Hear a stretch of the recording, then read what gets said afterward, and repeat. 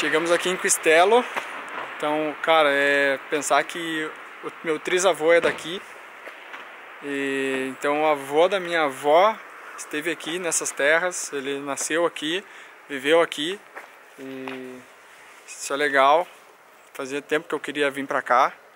E deu certo aí da oportunidade da fazenda ser aqui próximo. Então a gente vai almoçar por aqui. E depois que a gente almoçar, daí que a gente vai lá pra fazenda, vamos filmar pra vocês também. É isso aí. Vamos ver como é que é essa cidade aqui. Como que é a cidade, de Quistelo, em Mantova. Também o antenato é dessa cidade aqui.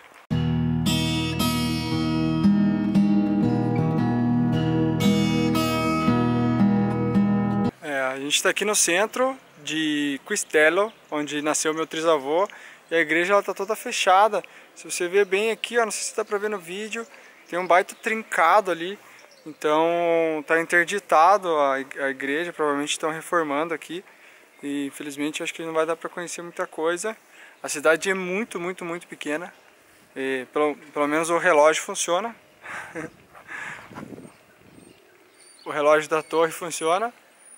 E bom, vamos fazer a volta aqui ver se a gente consegue acessar a igreja, mas pelo jeito ela está interditada e não tem ninguém trabalhando, então não sei se não está meio abandonada a igreja aqui. É, realmente a igreja está interditada e parece bem abandonada, na verdade, ó. Então por mais que tenha a ferragem aí do pessoal, mas até a ferragem está bem velha aqui. É, a igreja está interditada e tomada pelos pombos. E provavelmente ninguém vai reformar, tá tudo meio partido as paredes ali.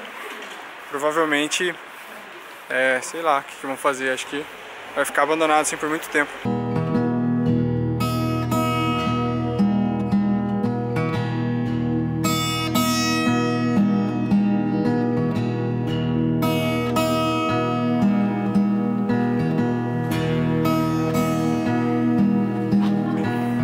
Mas isso aí, acabou a cidade, a cidade é muito pequena.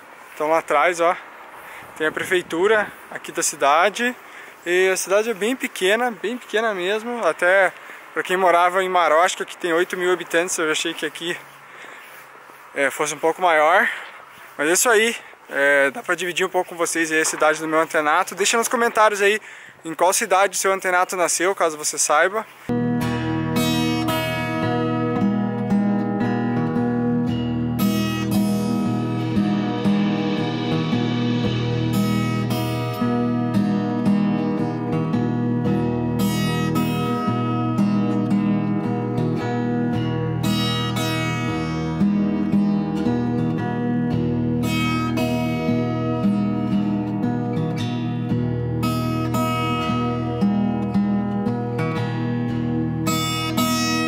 Salve galera, chegamos aqui já, então são 7 horas, é, vídeo rapidinho aqui só para encerrar mesmo.